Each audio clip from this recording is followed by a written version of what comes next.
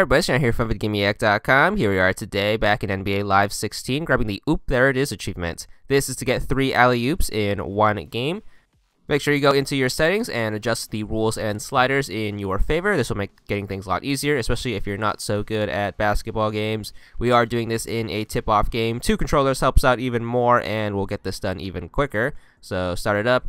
We are going to play as any team, and then once you start the game, make sure you get the ball all you have to do is just run up to around the three-point line and just tap B. That should set up the alley-oop. Someone underneath the basket should catch it and then put it in, and that will be one towards the achievement. If you're doing this with two controllers, just throw the ball away with your second controller and then just keep doing the same thing. Run up to the three-point line, tap B. That should throw it up, get the alley-oop, and then we just need to do it one more time really simple as long as you do it off of transitions and you can get it before people get set and your guys get defended.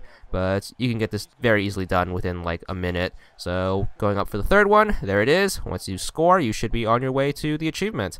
There it is 30 gamer score and that's all there is to it